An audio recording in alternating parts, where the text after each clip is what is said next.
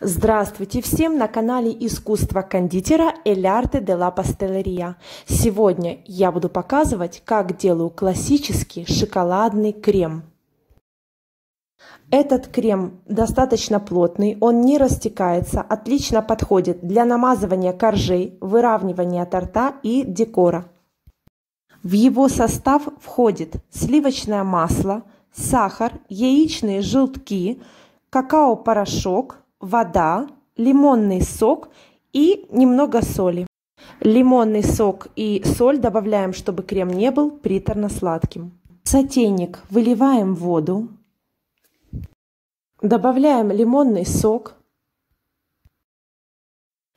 Будьте внимательны, и если у вас попадется косточка в лимонном соке, вымейте ее, так как она мешает прохождению крема через кондитерскую насадку.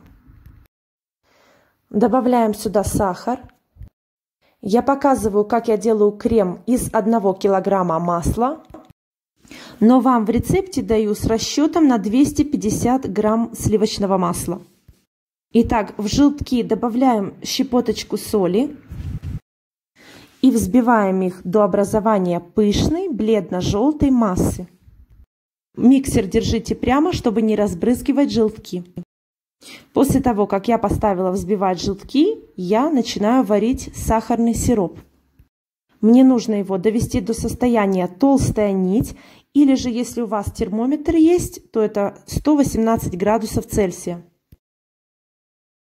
В начальной стадии варки сиропа сироп стекает каплями с ложки. После же а он начинает тянуться непрерывной струйкой, видите? И сейчас ложка уже немного остыла, и я беру пробу с помощью пальцев. И видите, между двумя пальцами у меня уже образовывается нитка. Образовалась тонкая нитка, она легко рвется. Температура такого сиропа около 110 градусов. Я поварю сироп еще около трех минут, и температура его повышается, и образуется толстая нить, как раз то, что мне нужно.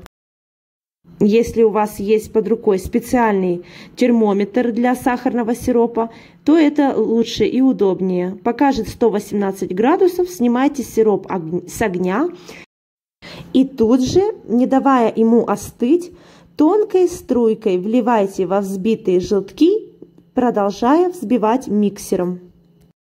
Взбивать необходимо до полного остывания желтков. Чем дольше вы взбиваете, тем гуще становится масса. Вот мой желтковый крем остыл. Обратите внимание, какой он стал по консистенции. Все, как только он остыл, я начинаю добавлять по кусочкам сливочное масло комнатной температуры и продолжаю взбивать. Чем мощнее у вас миксер, тем быстрее будет взбиваться крем.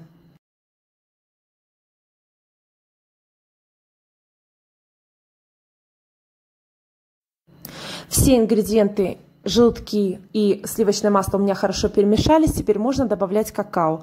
На каждые 250 грамм сливочного масла можно добавлять от 1 до 2 ложек какао. Это в зависимости от того, насколько шоколадный вы хотите ваш крем. И продолжайте взбивать миксером.